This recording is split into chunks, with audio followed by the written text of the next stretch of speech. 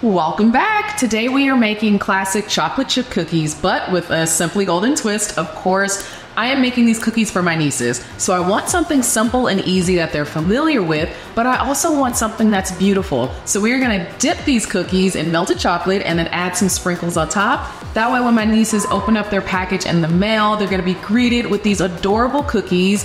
Without further ado, ladies and gentlemen, let's go ahead and get started.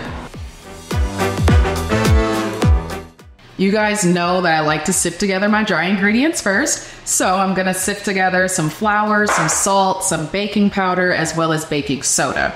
It's a simple step that so many people like to skip over, but trust me, it makes a huge difference in your final product. You want your dry ingredients to aerate. You also want them to combine really well, which means you gotta get rid of all of the lumps and bumps that hang around inside of flour and baking powder and baking soda. So as you can see, Sometimes you end up with these little lumps in there, and you just want to take the back of a fork or a spoon and break them apart so that way they don't end up in your final cookie.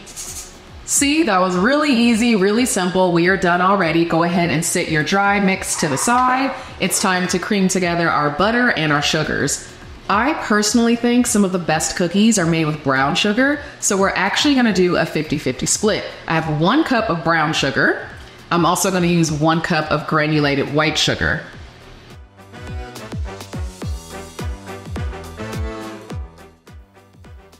Grab your electric hand mixer and go ahead and whisk all of this together until it's creamed, it's nice, and it's fluffy.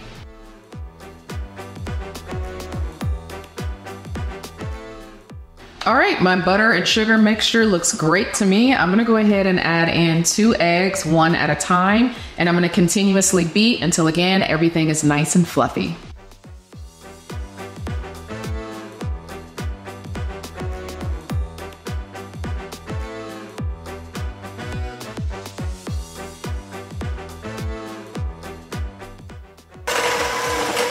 This is probably the funnest part of baking for me. I love watching all of the ingredients slowly start to come together. It's like this anticipation builds up for what's to come. I don't I don't know. Maybe it's just me. Maybe it's not, but it's literally my favorite part. All right, the last thing we need to do for our wet ingredients is to add in some vanilla extract. I'm actually using a new vanilla extract this time. I've never used pure bourbon, so we're gonna see how this comes out. Hmm, it smells delicious though, so I'm pretty confident.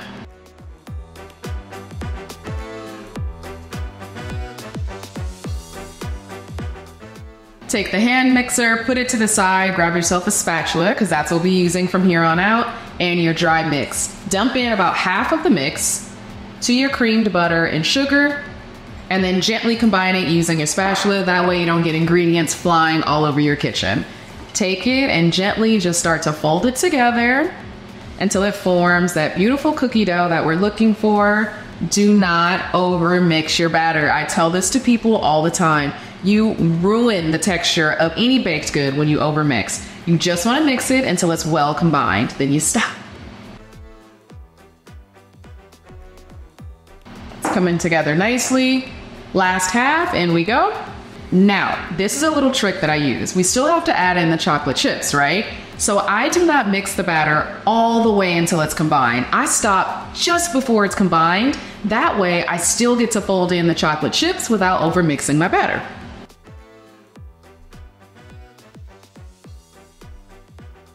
Now, this is my niece's favorite ingredient two cups of chocolate chips going into these cookies. These cookies are gonna be bursting with chocolate, they're gonna be so good.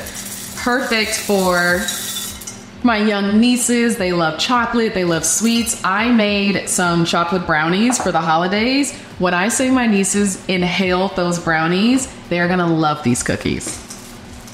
Go ahead and fold in your chocolate chips. Again, don't overmix your batter. Just fold it until all of those chocolate chips are nice and evenly distributed. Sometimes I forget how much upper body strength is required to mix cookie dough.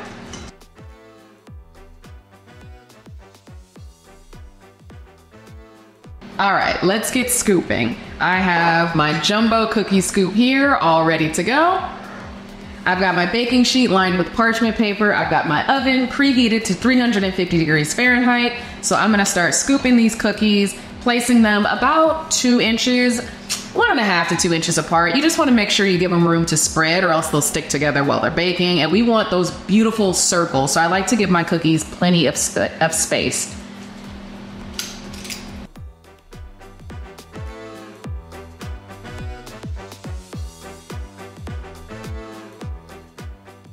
Okay, so this almost never happens, but my last cookie is actually the right size. Normally, I end up with like a half cookie or three fourths of a cookie. So, for this particular recipe, I was able to make 16 jumbo cookies, perfect amount for my nieces because I have six of them who all live in one household, plus their parents. That means each of them are gonna be able to get two cookies. I'm so excited right now. Okay, these are gonna go in the oven at 350 degrees Fahrenheit for about 10 to 12 minutes. I usually leave my cookies in for exactly 12 minutes, but we'll see how this recipe goes. Before I pop them in the oven though, I take the back of a measuring spoon, or measuring cup, excuse me, and I push down the tops of the cookies. That helps them cook into that perfect round circle that we love when we see cookies, right? So just give it a little bit of a push to flatten out the top and then pop them inside the oven. The tops are flat, so these are ready to go inside of the oven at 350 degrees Fahrenheit for about 10 to 12 minutes. We'll see. Timer just went off. Let's grab the cookies out of the oven. So these cookies may still look a little soft in the center, but trust me, check out the edges. If they're browned, they're ready. Sit them down, let them cool for about five minutes, and then transfer them to a wire rack. While they're cooling, we are gonna make our chocolate coating. I already have some white chocolate that's been melted and ready to go. I'm also gonna use some milk chocolate for these cookies as well. I just like variety. Visually, you'll see a combination of white chocolate and sprinkles, uh, milk chocolate and sprinkles. It's gonna be beautiful.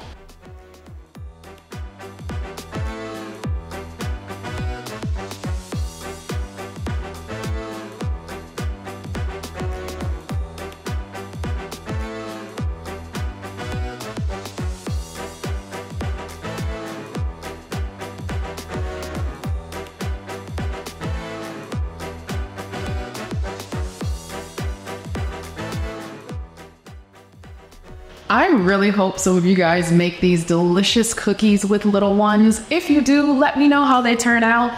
I gotta finish adding the chocolate and sprinkles to the rest of these cookies, but until next time, cheers!